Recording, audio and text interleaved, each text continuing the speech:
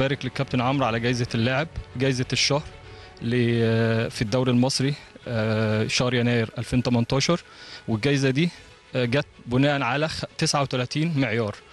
آه، عدد دقائق اللعب آه، عدد التمريرات اللي عملها كم تمريرة صحيحة دقة التمريرات الصحيحة دقة التمريرات ال- الطويلة القصيرة التدخلات بتاعته ألعاب الهواء التغطيات اللي عملها الاماكن كل حاجة الكابتن عمرو زي اللي بيحصل في الدوريات العالمية واختيارهم للاعب الشهر ما بيدخلش فيها أهواء ما بيدخلش فيها بيلعب في نادي إيه أو مش بيلعب في نادي إيه.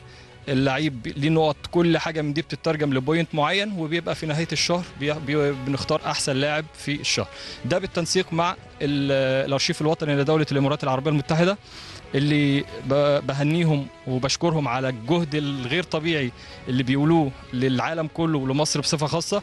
ودي كانت حاجة بسيطة نقدر نقول لشعب الإمارات زي ما أنتم دايما بتقدموا مبادرات إحنا كمان كمصريين بنقدم مبادرات في حب الإمارات وفي حب المغفور له. سمو الشيخ زايد بن سلطان آل نهيان طيب الله ثراه.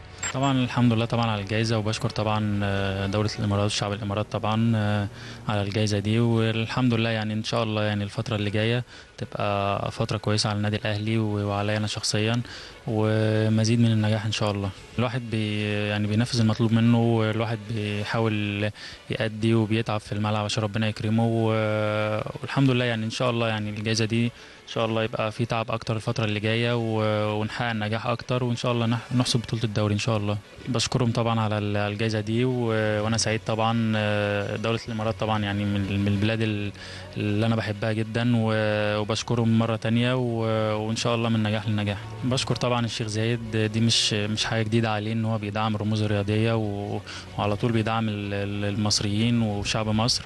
وبشكر طبعا الأرشيف الوطني لدولة الإمارات. وبشكر الشيخ زايد مرة تانية وإن شاء الله يعني الفترة اللي جاية تكون يعني كويسة على شعب الإمارات وعلى شعب مصر إن شاء الله.